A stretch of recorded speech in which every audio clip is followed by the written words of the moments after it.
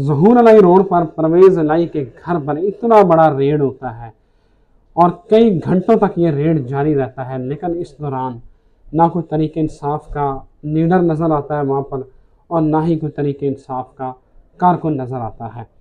मेरा ख्याल है कि ये परवेज़ लाई जो खानापुरी वाले सदर उन्होंने बनाए हुए हैं, अगर वो हकीकी सदर होते, तरीके इंसाफ के तो वहाँ पर कारकुनों का जम गफीर होता। कल एक तरीके इंसाफ के रहनमा से बात हुई तो उसने नाम नाम बताने की शर्त पर जो है वो एक चीज़ बताई कि उसने कहा कि यार, जब जमान पार्क में रेड हुआ जब पुलिस ने जो है वो हमला किया तो उस वक़्त परवेज़ अलाई ने भी एक मजम्मती बयान ही जारी किया था, काफ लीग के वर्कर, कारकुनान और काफ लीग की लीडरशिप हमें नज़र नहीं आई। तो जो उन्होंने किया वो हमने भी कर दिया। लेकिन नाजिन प्रॉब्लम अब ये है। कि परवेज़ अलाई के घर पर रेड क्यों हुआ? इसके मकासद क्या थे? और इससे क्या पैगाम देना था? नाजिन इकतीस मार्च को मैंने, आज से ठीक हुई, उनतीस दिन पहले एक वीडियो बनाई थी। और मैंने उसमें बताया था कि परवेज़ अलाई जो है वो गिरफ़्तार होने वाले हैं। और इस बात का पता परवेज़ लाई को भी था। परवेज़ लाई ने अपनी कानूनी टीम से भी मुशावरत की थी। क्योंकि आखिरी नोटिस इकतीस मार्च को मैंने जब वीडियो बनाई थी, उससे मेरा ख्याल है तीन या चार दिन पहले आखिरी नोटिस जो है वो जोर लाई वाले जो घर है परवेज़ लाई का वहाँ पर मौसू हुआ था लेकिन नाजिन अब एक और प्रॉब्लम यह है कि Parvez Elahi and company and Tehreek Insaf ये इतने मजलूम बन रहे हैं इतने मजलूम बन रहे हैं और मामा ਤੁਸੀਂ ਮੈਨੂੰ ਇਹ ਦੱਸੋ ਹਜੇ ਗ੍ਰਿਫਤਾਰੀ ਹੋਈ ਨਹੀਂ तो तुम मासूम बनी जा मजलूम बनी जा रहे हो मतलब क्या गोंगलों से आप मिट्टी झाड़ रहे हैं आपके सदर के घर पर रेड हुआ है। आप बाहर तो निकले नहीं हैं। इमरान खान ने कहा, मैं आज रोड मैप दूँगा अब बस हो गई है। मोनस लाई को देख रहे हो तेरे बाप के जो है ना, वो उसके पीछे पुलिस पड़ी हुई है और तू वहाँ बाहर जाके बैठा हुआ है। यार, कैसी औलाद है जो अपने बाप को जलील करवा रही है और ख़ुद मौजे कर रही है।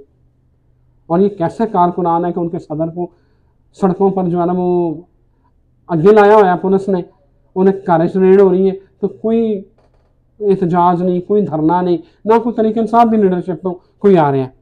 और अंदाज़ा करें अंदाज़ा करें, ये इतने बहादुर हैं जमान पार्क देख लें ज़ोर लाई रोड देख लें औरतों को आगे कर दिया, खुद खुद जो है वो छुप के बैठ गए। अब मुझे नहीं पता ये बात सच है या झूठ है जमान पार्क वाली, कि खान साहब वो जो नीचे तय खाना बना हुआ है, वहाँ छुप गए थे या क्या हुआ? और हम परवेज लाई का देख हैं। औरतों को आगे कर देते यार, कुछ शर्म होनी चाहिए आपको, कुछ थोड़ा सा आप कौन लोग हैं जो औरतों को ढाल बना लेते हैं? आपने, आप मजलूमियत का कार्ड आप खेलते हैं। गिरफ्तारी आपकी हुई नहीं। चीखें आपकी, पहले निकलना शुरू हो जाती हैं। फिर तो सलाम है उनको, पीपल्स पार्टी वालों को नून लीग वालों को। फ्रयाल तालपुर जेल गई। अपना आसफ अली जरदारी जेल गए। कोई रौला नहीं हुआ। मरियम नवाज़ को आपने नवाज़ शरीफ के सामने जेल से गिरफ़्तार किया। राना सनाउल्ला को आपने झूठे मंशियात के केस में गिरफ़्तार किया। वो एक वज़ीर था। वो कहता था, जान अल्लाह को देनी है, लेकिन हमारे पास वीडियो है। आज तक वो वीडियो नहीं मिली। उसके बाद आप बुलाते किसी को, साफ़ पानी में गिरफ़्तार आपको आशियाना में कर लेते हैं।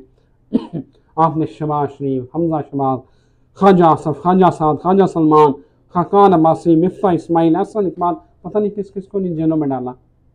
उन्होंने तो ये चीखो, चीखों पुकारने की, उनकी भी औरतों ने आके और बच्चों के आके मजामत तो नहीं की आप कितने बेशरम लोग हैं यार। आप रेड होती है औरतों और बच्चों को आगे कर देते हैं, खुद छुप जाते हैं। लेकिन नाजिन, अब मुद्दा ये है कि ये रेड क्यों किया गया? इसका मकसद क्या था? नाजिन, इसका मकसद परवेज़ अलाई को पहले से पता था कि ये केस पक्का केस है।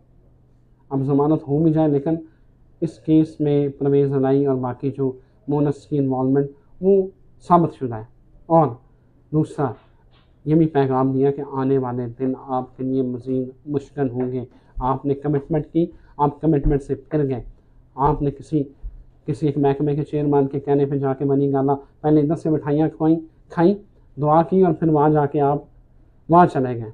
मुझे अल्लाह तो बन गए लेकिन मोनस नहीं को भी बता दिया गया कि जानू संभल के रहना। आने वाला टाइम बड़ा औखा है। और ये वाज पैगाम दे दिया गया देखें कि अब ये नेक्स्ट जो है, इमरान खान क्या रोड मैप लेते हैं और अगली स्ट्रेटजी क्या होगी, हुकूमत और बाकी जो इदारे हैं, वो इसको किस तरह देखते हैं और किस तरह लेके चलते हैं।